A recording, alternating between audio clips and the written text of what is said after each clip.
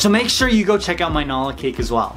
Now let's get to the cake. So first we're starting off with Simba's face and I'm just using a 6 inch round cake. I was kind of debating on whether or not I would just create the whole face out of fondant because I wanted to make the leafy feather mane. I don't know if they're feathers or leaves. They look like a combination of both. I wasn't sure there was enough cake content to create the face, but there was. If you're enjoying watching me make this awesome cake, make sure you hit the like button. Helps me out a lot it really does. Thank you guys. Did you do it? You're so sweet. I love you. I wanted his snout to come out farther than the rest of his face, so that's why the third layer of cake is actually a lot smaller. I gave this a crumb coat and I realized that I wanted his eyes to be a lot more sunken in. This is kind of a 3D cake, not really, kind of, because I wanted some depth, now after I finished carving and crumb coating this baby, I placed it into the fridge and I started to watch some Netflix. I was watching this show called Trinkets. I watched four episodes. It's about these girls who realize that they're all kleptomaniacs and they steal from Hollister of all places? I don't think I've ever even been to Hollister, but apparently it's super easy to steal stuff. I wouldn't know, I don't do that. Have you done it? Don't do it. I like the show. I love the main characters. They're very expressive. They're good actors. And I love that I think her name's Brianna from Deadpool and Deadpool 2. She's one of the main characters. She's killing it. Now let's get back to this cake. Now after my cake set up in the fridge, I wasn't sure that the nose was gonna stay the shape of the nose with cake, so I decided to create it with fondant. Now this video is brought to you by Dreamline Fondant. Satin Ice sent me a whole bunch of fondant for free. You know how expensive fondant is, you guys? You know how expensive good quality fondant is? And I got it for free I was so ecstatic when it happened.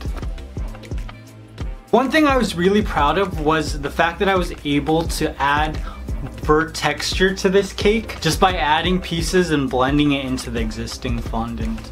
You can't really see any of the seams to the fondant I added to the sides.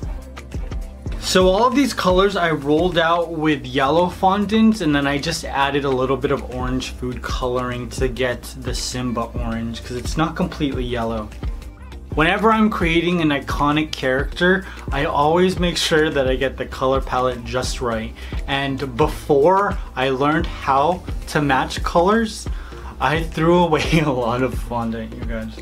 I made a lot of mistakes in my life, you guys, and coloring fondant is one of the biggest ones. I wanted his eyes to have like a circular shape, so I'm adding little balls of fondant so that when I add the eye fondant, it actually makes sort of like a half dome shape. This was probably the most tedious part. After I finished the eyes, I had to create like the mascara look. He's got black that highlights his eyes as well as like his eyebrows and stuff.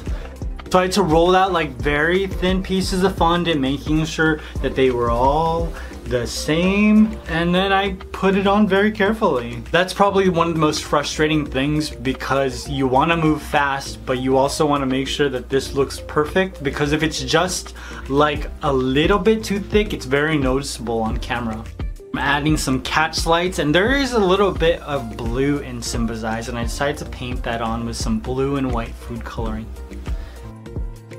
So his face is done, we're gonna get to the mane, the leaf and uh, feather mane. Is it leaves? It is probably just leaves. So let me just rerun the music video of I Can't Wait to Be King in my head.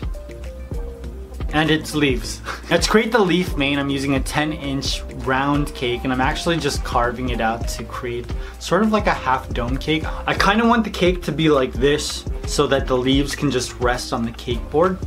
Because if it's just flat on the cake, then you'll be able to tell because of the way that the light hits it.